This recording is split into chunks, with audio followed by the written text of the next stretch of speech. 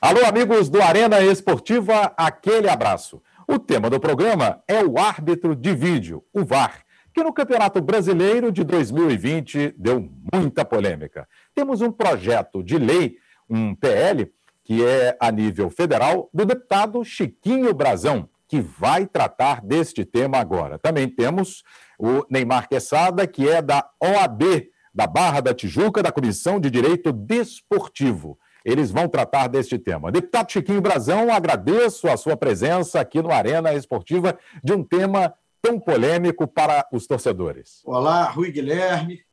Olá, Neymar Quesada. E a todos os ouvintes da Arena Esportes, a TV Alerte. Um abraço. Estamos à disposição muito bem, deputado. É, Neymar Quesada, você que é membro da OAB, da Ordem dos Advogados Seccional aqui do Rio de Janeiro, e da Comissão de Direito Desportivo. Quero também agradecer a sua presença aqui no Arena Esportiva para tratar deste tema que é bem palpitante. Olá, Guilherme, tudo bem? Eu que agradeço o convite, é um prazer estar aqui. Com certeza. Bem, o tema, conforme já disse, é bem palpitante. 2020, Campeonato Brasileiro que só terminou este ano, né? Em função aí da pandemia, que não só o país, mas o mundo inteiro vive. Tivemos uma interrupção de quatro meses ano passado, depois a retomada. O público dos estádios ainda não voltou. Temos agora umas novas cepas, né? Do Covid-19 aqui no país. A situação bem complicada. Mas a CBF já tem em andamento a Copa do Brasil, os campeonatos estaduais também estão em andamento. Paulista deu uma parada, o Campeonato Carioca, aqui do Rio de Janeiro, esse campeonato deu prosseguimento com jogos sendo realizados na Baixada Fluminense. Campeonato Mineiro deu uma parada, já voltou, enfim. Cada estado tem um problema, cada município trata da situação do Covid-19.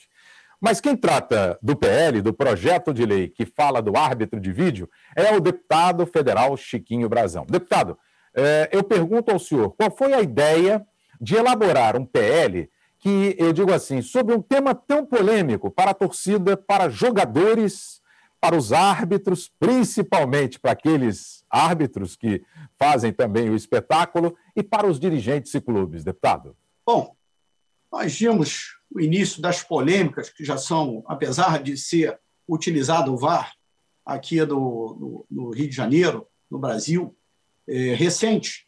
É uma ferramenta muito nova e que precisa certamente de muitas aperfeiçoações. E vimos que no ano de 2020 o VAR dominou todo o assunto, inclusive. Então, é, eu já havia apresentado, no dia 27 do, do 11 de 2019, o projeto 6228, que altera o Estatuto de Defesa do Torcedor, tornando obrigatório a divulgação de imagem e de áudio em tempo real das conversas entre árbitros, no caso da utilização do sistema de vídeo VAR. Quer dizer, apresentei justamente para que se possa corrigir, porque vimos ali que uma ferramenta tão importante, ela, na verdade, da forma que está sendo utilizada, ela não está atendendo ao, ao futebol. Ela está criando polêmica, criando dúvidas, o que é muito terrível para o futebol. Nós queremos total transparência, nós queremos que o futebol seja alegria do torcedor, como sempre foi. Que o futebol, na verdade, é emoção é, e muitas das vezes não é a razão.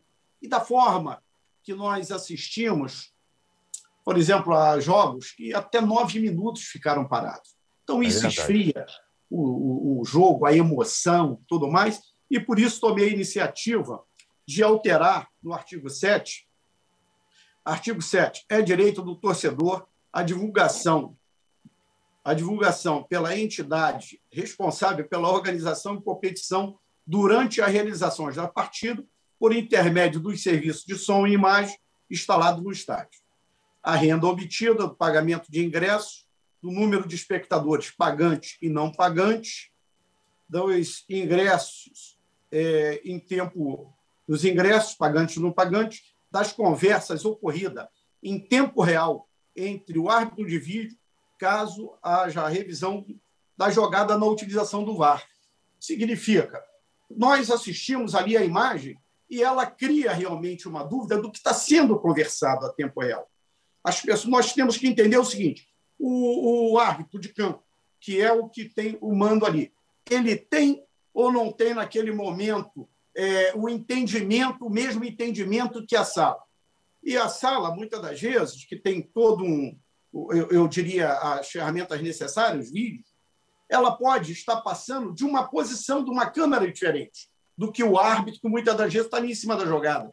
E não sabemos se isso acaba intimidando ou não o árbitro. Mas o que nós estamos vendo é uma tremenda discordância de toda a torcida naquele momento. Então, por isso, estamos criando, ajudando a organizar né, e criando através de leis, realmente na alteração. A lei é, 6228, para que a gente possa ter a liberação do áudio. Nós precisamos ter o áudio. Eu não vejo como um, uma. É, como se fosse uma investigação, um caso de sigilo. Não há necessidade nenhuma ali é um show que está dando ali para toda a torcida naquele tempo real. Eu ainda o entender do senhor é que o torcedor deve tomar conhecimento, então, daquilo que eh, tanto aqueles que ficam na cabine, né, participando do árbitro de vídeo, o árbitro ali de campo, que tem a palavra final de acionar ou não o árbitro de vídeo, de aceitar, acatar aquilo que vê no vídeo, é para que o torcedor é, não tenha dúvidas da conversa entre eles e que a decisão seja aquela mais correta possível, deputado? Sim, por isso foi criado o VAR. Mas não está, isso é que não está correndo, é na verdade. verdade. Está é gerando verdade. muito mais dúvida do que certezas. E isso tem comprometido. Antigamente, você escutava aquele radinho, é gol, aquele gol longo, né? E hoje começa gol, para, e aí a gente fica parado seis minutos, sete minutos, dez minutos. Está estragando realmente aquele show é, esperado pelo torcedor. Nós precisamos, sim, dessa ferramenta moderna, mas de que ela, ela possa ser mais esclarecedora. O que se está assistindo e o que se está ouvindo, na verdade. Com certeza. O Neymar Quesada, você que é membro é, da Comissão de Direito Esportivo da OAB, da Ordem dos Advogados, a seccional aqui do Rio de Janeiro, qual é o teu entendimento em relação a isso? Porque desde que o árbitro de vídeo entrou, eu digo assim, entrou em campo, entrou na jogada, né? a polêmica não deixou de existir. E isso que o deputado chegou a dizer, o deputado Chiquinho Brazão, autor desse PL, do projeto de lei, é, o torcedor sentiu muito. Nós tivemos jogos do Campeonato Brasileiro de 2020, que somente terminou esse ano em função da pandemia, conforme disse o deputado, com sete, nove minutos de paralisação, quando o sujeito tem um vídeo né? Ele está ali dentro de uma cabine, o árbitro, tudo bem, ele está dentro de campo, às vezes sofre pressão até de jogadores, até mesmo de treinadores, mas o cara está ali vendo o vídeo. É, se ele não consegue ver é, com os seus próprios olhos, o olho eletrônico, conforme a gente diz, tem condição. Agora, você chegar e esperar sete, oito, nove minutos para definir uma jogada, aquele cara que está em casa, não vou dizer nem na arquibancada, porque a gente não teve arquibancada em 2020, né, em função da pandemia. Em 2021 também não estamos tendo. Mas o sujeito fica irritado. Qual é a tua opinião em relação a isso, Neymar? Bom, Rui, eu já tive a, oportunidade de parabenizar o deputado né, fora aqui do programa, então volto a, parabenizar aqui sobre essa iniciativa, porque eu, o ponto que o deputado tocou ele é, ele é principal nessa questão sobre o VAR. A partir do momento que você deixa de dar publicidade, transparência aos atos dentro ou fora de campo, né? o árbitro ali que é a autoridade máxima do espetáculo, e você deixa de dar publicidade e, e, transparência, você gera dúvida. Não só os torcedores, os atletas, os membros da comissão técnica. Então, é, é, atualmente nós temos, não temos tendo torcida, mas ainda assim se vê aquela confusão generalizada, pressão dos atletas, pressão da comissão é, é, do, da comissão técnica dos clubes e uma outra, uma outra questão tem gerado diversos pedidos de anulação de partida. Sim. Ou seja, um instrumento que é para dar certeza, para tornar, para que não pare dúvidas sobre a decisão de campo, ao contrário, tem no Campeonato Brasileiro de 2020, a última partida internacional e Vasco foi tentou se buscar a impugnação dessa partida.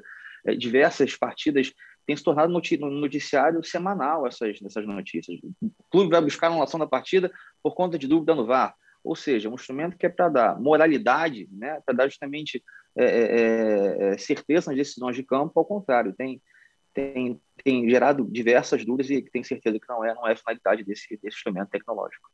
É, deputado, pegando um gancho do que disse o Neymar Quesada a respeito desse jogo Vasco Internacional, teve polêmica, né?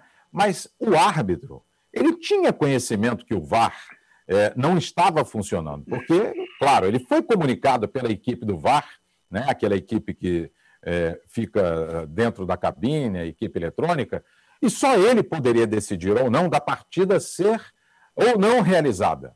Porque isso, inclusive, está é, na, faz parte das determinações da FIFA. A palavra final é do árbitro. E se ele deu condições de jogo, porque ele acreditava ter condições de comandar a partida sem o equipamento eletrônico. O seu pensamento em relação a isso, é, deputado Chiquinho Brazão, que tem um PL, um projeto de lei, que tenta dar transparência, principalmente é, transparência àquele que interessa, que é, são os torcedores, os jogadores e também técnicos e dirigentes. Qual é o seu pensamento em relação a isso? Ah, aquele jogo não devia ser realizado, o ato agiu corretamente, o Vasco entrou com pedido de impugnação, perdeu duas vezes, depois no pleno do Superior Tribunal de Justiça Desportiva, foi uma polêmica muito grande e acabou que o Vasco vai disputar a Série B, a segunda divisão desse ano 2021. Eu acho sim que o jogo deveria ocorrer, mas o árbitro tinha que chamar para si essa responsabilidade, sabendo, tendo conhecimento, antes do VAR o futebol ocorria normalmente e sempre foi um espetáculo. Então, com erro, sem erro, eu, eu acho que ele não deveria, não deveria ter ficado a reboque, sim, de um sistema que ele sabia que parcialmente estaria funcionando. Ele teria que assumir a responsabilidade, já que ele é, determinou de que pudesse haver a continuidade. Então, é muito importante que o árbitro de campo ele tenha, é, quando entrar ali, ele, ele tenha o entendimento do que ele está realmente fazendo e acreditando naquele trabalho. Mas a partir do momento que ele sabe que tem uma sala com, com três artes, com toda a tecnologia, realmente cria uma dúvida. Então, por isso, há a importância de nós é, termos conhecimento a tempo real do que está sendo conversado. Porque se tivéssemos o conhecimento a tempo real, não ia gerar dúvida, poderia gerar discordância de tudo que se passou dentro da sala, é, da conversa entre os dois, mas é. não iria gerar uma dúvida como gerou. E todas as vezes que gera dúvida, o que acontece? Perde a torcida, porque perde a credibilidade daquele jogo. Com certeza, não, o senhor tem razão, porque ao perder a credibilidade, o torcedor fica em dúvida. Os próprios jogadores dentro de campo e treinadores e dirigentes vão levantar polêmicas, muitas vezes até desnecessárias, você não acha, Neymar? Claro, claro, gera-se dúvida, exatamente o que eu coloquei aqui anteriormente, que a partir do momento que você não dá transparência e publicidade ao que está sendo decidido ali entre os árbitros, é, terceiros, espectadores, atletas, não se sabe o que está se passando. Então, gera-se dúvida, levanta-se dúvida e isso acaba é, é, é, é estragando, de certa forma, o espetáculo. E uma outra questão que o deputado colocou perfeitamente é o tempo que, que o VAR tem, tem, sido, tem sido utilizado. Tomada de decisões, né? seis, sete, nove, dez minutos.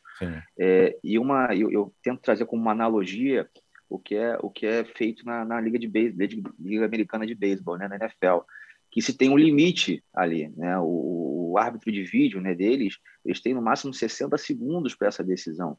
Ou seja, não sei se trazendo para o futebol seria um prazo razoável, estaria um pouco mais, né? mas é, é, tem que se colocar também um limite, um prazo sobre essas decisões, para que não fique a cargo tão somente do, do árbitro, né? dessa decisão que falta transparência, ou seja, não há um prazo para decidir e tampouco há transparência nas suas decisões, ou seja, fica a cargo de fato. Então, essa autoridade do árbitro ela também tem que ter suas, suas limitações ali, tem que haver transparência assim, no, nos atos do, dos árbitros. Daqui a pouquinho, na segunda parte do Arena Esportiva, vamos continuar com este tema que é bem polêmico. O árbitro de vídeo em um projeto de lei do deputado Chiquinho Brazão, que trata do tema na Câmara Federal. Já, já, no Arena Esportiva.